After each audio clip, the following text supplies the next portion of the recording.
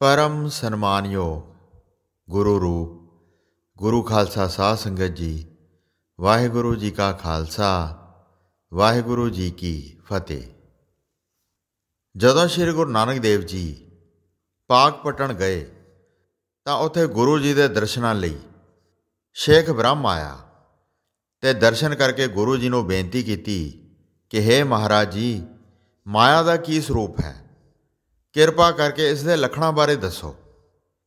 ਤਾਂ ਸੱਚੇ ਪਾਤਸ਼ਾਹ ਨੇ ਇੱਕ ਸ਼ਬਦ ਉਚਾਰਿਆ, ਜਿਸ ਵਿੱਚ ਸ਼ੇਖ ਜੀ ਵੱਲੋਂ ਕੀਤੇ ਪ੍ਰਸ਼ਨਾਂ ਦੇ ਉੱਤਰ ਗੁਰੂ ਜੀ ਨੇ ਦਿੱਤੇ ਹਨ।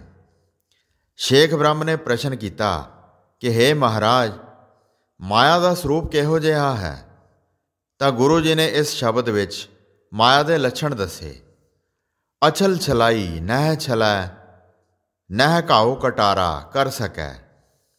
ਗੁਰੂ ਜੀ ਨੇ ਫਰਮਾਇਆ ਕਿ हे ਸ਼ੇਖ ਜੀ, ਮਾਇਆ ਜੋ ਅਛਲ ਹੈ, ਇਹ ਕਿਸੇ ਦੇ ਛਲਿਆ ਨਹੀਂ ਛਲੀ ਜਾਂਦੀ ਤੇ ਇਸ ਦੇ ਕਟਾਰ ਨਾਲ ਕੋਈ ਜ਼ਖਮ ਨਹੀਂ ਕਰ ਸਕਦਾ। ਜਾਂ ਕਹਿ ਲਓ ਜਿਹੜੇ ਆਪਣੇ ਆਪ ਨੂੰ ਅਛਲ ਕਹਾਉਂਦੇ ਸਨ, ਜਿਸ ਤਰ੍ਹਾਂ ਕਿ ਸੌਰਭ ਰਖੀ ਹੋਇਆ ਹੈ ਉਸ ਨੂੰ ਵੀ ਮਾਇਆ ਨੇ ਛਲ ਲਿਆ। ਸੌਰਭ ਰਖੀ ਜੰਗਲ ਵਿੱਚ ਰਹਿੰਦਾ ਹੁੰਦਾ ਸੀ ਤੇ ਤਲਾਬ ਦੇ ਕਿਨਾਰੇ ਬੈਠਾ ਤਪ ਕਰਦਾ ਹੁੰਦਾ ਸੀ। ਇਸ ਤਰ੍ਹਾਂ ਤਪ ਕਰਦੇ ਕਰਦੇ ਕਈ ਸੌ ਸਾਲ ਬੀਤ ਗਏ ਤੇ ਉਸ ਦੇ ਸਰੀਰ ਉੱਤੇ ਵਰਮੀ ਚੜ ਗਈ।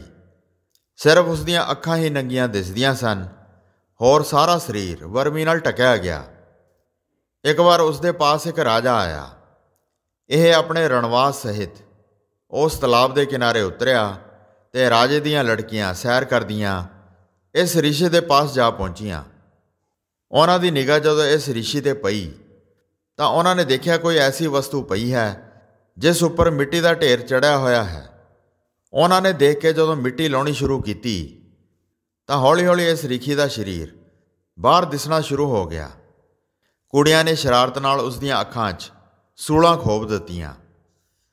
ਜਿਸ ਦਾ ਨਤੀਜਾ ਇਹ ਹੋਇਆ ਕਿ ਰਿਸ਼ੀ ਦੀਆਂ ਅੱਖਾਂ ਵਿੱਚੋਂ ਖੂਨ ਨਿਕਲ ਆਇਆ। ਜਦੋਂ ਰਿਸ਼ੀ ਦੀਆਂ ਅੱਖਾਂ ਵਿੱਚੋਂ ਖੂਨ ਨਿਕਲਿਆ, ਤਾਂ ਉਹ ਬਹੁਤ ਡਰ ਗਈਆਂ ਤੇ ਡਰਦੀਆਂ ਹੋਈਆਂ ਉੱਥੋਂ ਭੱਜ ਗਈਆਂ। ਆਪਣੇ ਪਿਤਾ ਰਾਜੇ ਦੇ ਪਾਸ ਪਹੁੰਚ ਗਈਆਂ ਤੇ ਪਿਤਾ ਰਾਜੇ ਨੂੰ ਜਾ ਕੇ ਦੱਸ ਦਿੱਤਾ ਕਿ ਸਾਡੇ ਤੋਂ ਗਲਤੀ ਹੋ ਗਈ ਹੈ, ਸਾਨੂੰ ਬਚਾ ਲਓ। ਰਾਜਾ ਬਖਸ਼ਾਉਣ ਵਾਸਤੇ ਰਿਸ਼ੀ ਦੇ ਕੋਲ ਆਇਆ ਤੇ ਖੇਮਾ ਮੰਗਣ ਲੱਗ ਪਿਆ। ਰਿਸ਼ੀ ਨੇ ਕਿਹਾ ਕਿ, ਰਾਜਨ, ਜੇ ਖੇਮਾ ਚਾਹੁੰਦਾ ਹੈ, ਤਾਂ ਮੈਨੂੰ ਆਪਣੀਆਂ ਪੁੱਤਰੀਆਂ ਦੇ ਦਿਓ। ਰਾਜੇ ਨੇ ਕਿਹਾ ਕਿ ਰਿਖੀਵਰ ਆਪ ਦਾ ਸਰੀਰ ਬੜਾ ਬਿਰਧ ਹੈ, ਇਹ ਕਿਵੇਂ ਹੋ ਸਕਦਾ ਹੈ? ਤੁਹਾਡਾ ਸਰੀਰ ਜਵਾਨ ਹੁੰਦਾ, ਤਾਂ ਮੈਂ ਲੜਕੀਆਂ ਦੇ ਦਿੰਦਾ। ਰਿਖੇ ਨੇ ਤਪੋਬਲ ਨਾਲ, ਸੁੰਦਰ ਦਿਵਯ ਰੂਪ ਧਾਰ ਲਿਆ ਤੇ ਰਾਜੇ ਦੀਆਂ ਸਾਰੀਆਂ ਲੜਕੀਆਂ ਨੂੰ ਵਰ ਲਿਆ। ਜਿਨ੍ਹਾਂ ਦੀ ਗਿਣਤੀ ਵਿਸ਼ਿਸ਼ਟ ਪੁਰਾਣ ਵਿੱਚ 100 ਲਿਖੀ ਹੋਈ ਹੈ। ਸੋ ਗੁਰੂ ਜੀ ਫਰਮਾਉਂਦੇ ਹਨ ਕਿ ਇਸ ਤਰ੍ਹਾਂ ਇਹ ਅਛਲ ਹੋਣ ਵਾਲਾ ਰਿਖੀ ਵੀ ਮਾਇਆ ਦੁਆਰਾ ਛਲਿਆ ਗਿਆ। ਇਹ ਸੁਣ ਕੇ ਸ਼ੇਖ ਬ੍ਰਹਮ ਪੁੱਛਦਾ ਹੈ ਕਿ ਮਹਾਰਾਜ, ਮਾਇਆ ਤਾਂ ਐਸੀ ਪਰਬਲ ਹੈ ਇਸ ਮਾਇਆ ਨੇ ਸਾਰਾ ਸੰਸਾਰ ਛਲਿਆ ਹੈ ਕਿ ਉਹ ਪਰਮੇਸ਼ਰ ਨੂੰ ਵੀ ਛਲ ਲੈਂਦੀ ਹੈ। ਪਰ ਜਿਸ ਪਰਮੇਸ਼ਰ ਦੀ ਸੱਤਾ ਪ੍ਰਾਪਤ ਹੋਈ ਹੈ, ਉਹ ਸੱਤਾ ਕਿਹੋ ਜਹੀ ਹੈ? ਗੁਰੂ ਜੀ ਫਰਮਾਉਂਦੇ ਹਨ ਕਿ ਜੋ ਪਰਮੇਸ਼ਰ ਦੀ ਚੇਤਨਤਾ ਹੈ, ਉਹ ਅਛਲ ਹੈ। ਜੋ ਇਸ ਤੋਂ ਛਲ ਕਰਕੇ ਛਲੀ ਨਹੀਂ ਜਾਂਦੀ, ਇਹ ਪਰਮੇਸ਼ਰ ਦੀ ਜੋਤ ਇਹੋ ਜਹੀ ਹੈ ਕਿ ਇਸ ਨੂੰ ਮਾਇਆ ਰੂਪੀ ਕਟਾਰ, ਜ਼ਖਮੀ ਨਹੀਂ ਕਰ ਸਕਦੀ। ਅਰਥਾਤ ਇਸ ਪਰਮੇਸ਼ਰ ਦੀ ਸੱਤਾ ਰੂਪ ਆਤਮਾ ਨੂੰ ਸ਼ਸਤਰ ਕੱਟ ਨਹੀਂ ਸਕਦੇ, ਪਾਣੀ ਡੋਬ ਨਹੀਂ ਸਕਦਾ ਤੇ ਅਗਨੀ ਸਾੜ ਨਹੀਂ ਸਕਦੀ। ਫਿਰ ਸ਼ੇਖ ਬ੍ਰਹਮ ਨੇ ਪ੍ਰਸ਼ਨ ਕੀਤਾ ਕਿ ਮਹਾਰਾਜ, ਜਿਸ ਮਾਇਆ ਨੇ ਸਾਰਾ ਸੰਸਾਰ ਛਾਲਿਆ ਹੈ, ਕੀ ਉਹ ਪਰਮੇਸ਼ਰ ਨੂੰ ਵੀ ਛਲਣ ਵਾਲੀ ਹੈ? ਉੱਤਰ 'ਚ ਸਤਿਗੁਰੂ ਜੀ ਫਰਮਾਉਂਦੇ ਹਨ, ਜਿਉਂ ਸਾਹਿਬ ਰਾਖਾ ਤਿਉਂ ਰਹੈ, ਇਸ ਲੋਭੀ ਕਾ ਜੀਓ, ਟਲ ਪੱਲਾ। ਹੇ ਸ਼ੇਖ ਜੀ, ਨਹੀਂ, ਇਹ ਪਰਮੇਸ਼ਰ ਨੂੰ ਨਹੀਂ ਛਲ ਸਕਦੀ, ਕਿਉਂਕਿ ਇਹ ਤਾਂ ਉਸ ਪ੍ਰਭੂ ਦੇ ਅਧੀਨ ਹੈ। ਇਹ ਮਾਇਆ ਉਸ ਪ੍ਰਭੂ ਦੇ ਹੁਕਮ ਵਿੱਚ ਰਹਿੰਦੀ ਹੈ। ਇਹ ਤਾਂ ਸਿਰਫ ਇਹ ਲੋਭੀ ਜੀਵ ਹੀ ਹੈ ਜੋ ਇਸ ਮਾਇਆ ਦੇ ਅਧੀਨ ਹੈ। ਇਸ ਲਾਲਚੀ ਜੀਵ ਦਾ ਮਨ ਵਾਹਿਗੁਰੂ ਵੱਲੋਂ ਪਲ ਪਲ ਹੀ ਟਲਦਾ ਰਹਿੰਦਾ ਹੈ। ਭਾਵ ਇਹ ਹੈ ਕਿ ਪ੍ਰਭੂ ਦਾ ਸਿਮਰਨ, ਸੇਵਾ, ਤਪੱਸਿਆ ਆਦ ਵੱਲੋਂ ਹਰ ਸਮੇਂ ਇਹ ਮਨ ਟਲਦਾ ਹੈ। ਪਰ ਇਹ ਮਾਇਆ ਪ੍ਰਭੂ ਦੇ ਅਧੀਨ ਹੈ, ਰੱਬ ਇਸ ਦੇ ਅਧੀਨ ਨਹੀਂ ਹੈ। ਸ਼ੇਖ ਬ੍ਰਹਮ ਨੇ ਕਿਹਾ ਕਿ ਮਹਾਰਾਜ, ਇਹ ਮਾਇਆ ਇੰਨੀ ਤੇਜ਼ ਕਿਉਂ ਹੈ? ਗੁਰੂ ਜੀ ਨੇ ਕਿਹਾ ਕਿ हे ਸ਼ੇਖ ਜੀ, ਜਿਹੜਾ ਇਸ ਨੂੰ ਸਤ ਕਹੇ, ਤਾਂ ਇਹ ਬ੍ਰਹਮ ਦੀ ਨਿਆਈ ਸਤ ਵੀ ਨਹੀਂ ਹੈ, ਕਿਉਂਕਿ ਗਿਆਨ ਹੋਣ ਤੋਂ ਨਾਸ ਹੋ ਜਾਂਦੀ ਹੈ। ਜੇਕਰ ਅਸਤ ਕਹੀਏ, ਤਾਂ ਸਾਰਾ ਪਸਾਰਾ ਇਸੇ ਦਾ ਰੂਪ ਦਿਸਦਾ ਹੈ। ਫਿਰ ਸੱਤ ਅਸੱਤ ਕਹਿ ਦਈਏ, ਤਦ ਵੀ ਗੱਲ ਨਹੀਂ ਬਣਦੀ, ਕਿਉਂਕਿ ਸੱਤ ਤੇ ਅਸੱਤ ਦਾ ਵਿਰੋਧ ਹੈ। ਜਿਹੜਾ ਸੱਤ ਹੈ, ਉਹ ਅਸੱਤ ਨਹੀਂ ਹੋ ਸਕਦਾ ਤੇ ਅਸੱਤ ਸੱਤ ਨਹੀਂ ਹੋ ਸਕਦਾ। ਇਹ ਤਾਂ ਦਿਨ ਤੇ ਰਾਤ ਦੀ ਨਿਆਈ ਹਨ। ਫਿਰ ਜੇਕਰ ਭਿੰਨ ਕਹੀਏ, ਤਾਂ ਬ੍ਰਹਮ ਤੋਂ ਭਿੰਨ ਵੀ ਨਹੀਂ ਹੈ। ਅਭਿੰਨ ਕਹੀਏ, ਤਾਂ ਅਭਿੰਨ ਵੀ ਨਹੀਂ ਕਹੀ ਜਾਂਦੀ, ਕਿਉਂਕਿ ਇਹ ਸਤ ਚਿਤ ਆਨੰਦ ਦੁਆਰਾ ਹੀ ਚੇਤਨ ਹੈ। ਫਿਰ ਜੇਕਰ ਇਸ ਨੂੰ ਸਰੀਰੀ ਕਹੀਏ, ਤਾਂ ਸਰੀਰੀ ਵੀ ਸਿੱਧ ਨਹੀਂ ਹੁੰਦੀ, ਕਿਉਂਕਿ ਅੱਗ ਵਿੱਚ ਸੜ ਕੇ ਖਤਮ ਹੋ ਜਾਂਦੀ ਹੈ। ਜੇਕਰ ਕਹੀਏ ਮਾਇਆ ਹੁੰਦੀ ਹੀ ਨਹੀਂ, ਤਦ ਵੀ ਠੀਕ ਨਹੀਂ, ਕਿਉਂਕਿ ਸਾਰਾ ਬਸਾਰਾ ਇਸ ਦਾ ਹੀ ਹੈ। ਇਸ ਕਰਕੇ ਇਹ ਸਾਰੀਆਂ ਨੌ ਜੁਗਤੀਆਂ ਨੂੰ ਦਿਖਾ ਦੇਣ ਵਾਲੀ ਹੋਣ ਕਰਕੇ ਅਨਰਵਚਨੀ ਹੈ। ਜਿਹੋ ਜਹੀ ਇਹ ਆਪ ਹੈ, ਉਹ ਜਿਹਾ ਇਸ ਦੁਆਰਾ ਸਿਰਜਿਆ ਇਹ ਜਗਤ ਹੈ। ਉਹ ਵਾਹਿਗੁਰੂ ਸਾਰਿਆਂ ਦਾ ਮਾਲਕ ਹੈ ਜਿਵੇਂ ਜਿਵੇਂ ਉਹ ਸਾਨੂੰ ਰੱਖਦਾ ਹੈ, ਉਸ ਤਰ੍ਹਾਂ ਹੀ ਰਹਿਣਾ ਪੈਂਦਾ ਹੈ। ਫਿਰ ਅੱਗੇ ਸਤਿਗੁਰੂ ਜੀ ਫਰਮਾਉਂਦੇ ਹਨ, ਬਿਨ ਤੇਲ ਦੀਵਾ ਕਿਉਂ ਜਲੈ? ਹੇ ਭਾਈ, ਪ੍ਰਤੱਖ ਤੇਲ ਤੇ ਬੱਤੀ ਤੋਂ ਬਿਨਾ ਦੀਵਾ ਕਿਵੇਂ ਜਲ ਸਕਦਾ ਹੈ? ਭਾਵ ਜਲ ਨਹੀਂ ਸਕਦਾ। ਇਸੇ ਤਰ੍ਹਾਂ ਗਿਆਨ ਰੂਪੀ ਦੀਵਾ ਵੀ ਤੇਲ ਬੱਤੀ ਤੋਂ ਬਗੈਰ ਕਿਵੇਂ ਪ੍ਰਕਾਸ਼ ਕਰ ਸਕਦਾ ਹੈ? ਸਿਮਰਨ ਦੇ ਤੇਲ ਤੋਂ ਬਿਨਾ ਆਤਮਿਕ ਜੀਵਨ ਦਾ ਦੀਵਾ ਕਿਵੇਂ ਟਹਿਕਦਾ ਰਹਿ ਸਕਦਾ ਹੈ? ਇਸ ਲਈ ਸਾਨੂੰ ਗੁਰਬਾਣੀ ਪੜ੍ਹਨੀ ਚਾਹੀਦੀ ਹੈ। ਪਰਮਾਤਮਾ ਦਾ ਡਰ ਸਾਨੂੰ ਆਪਣੇ ਮਨ ਵਿੱਚ ਰੱਖਣਾ ਚਾਹੀਦਾ ਹੈ।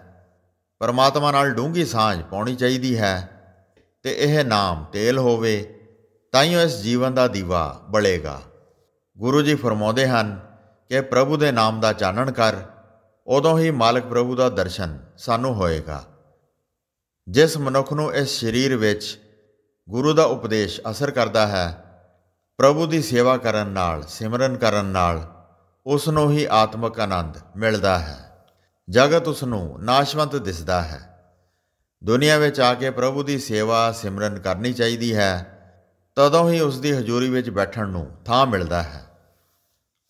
ਸਿਮਰਨ ਦੀ ਬਰਕਤ ਨਾਲ ਬੰਦਾ ਬੇਫਿਕਰ ਹੋ ਜਾਂਦਾ ਹੈ ਤੇ ਉਸ ਨੂੰ ਕੋਈ ਵੀ ਚਿੰਤਾ, ਸੋਗ ਨਹੀਂ ਵਿਆਪਦਾ।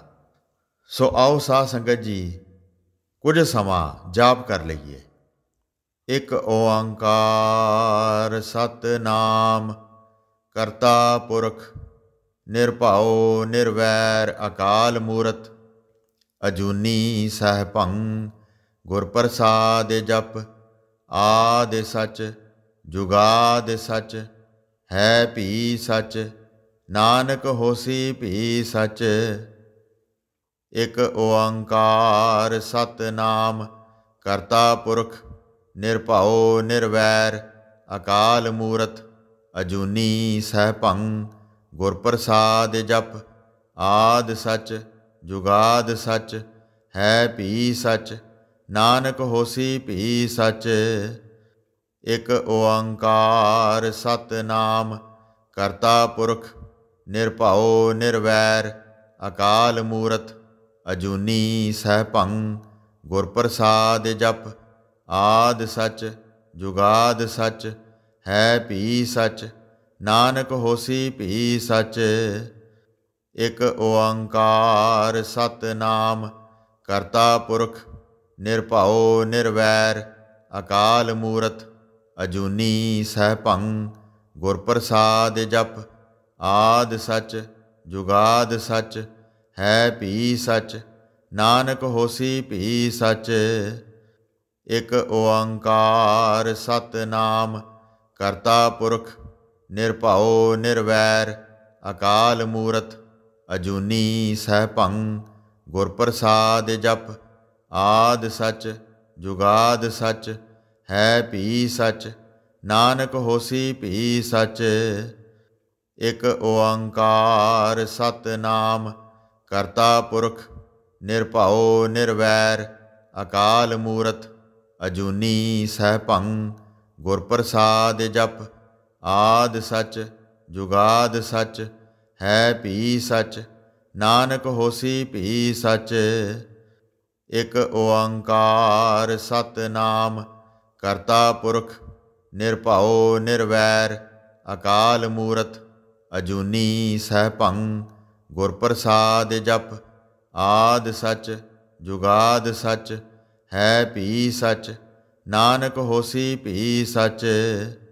ਵਾਹੇ ਗੁਰੂ ਵਾਹੇ ਗੁਰੂ ਵਾਹੇ ਗੁਰੂ ਵਾਹੇ ਗੁਰੂ ਵਾਹੇ ਗੁਰੂ ਵਾਹਿਗੁਰੂ ਜੀ ਕਾ ਖਾਲਸਾ, ਵਾਹਿਗੁਰੂ ਜੀ ਕੀ ਫਤਿਹ।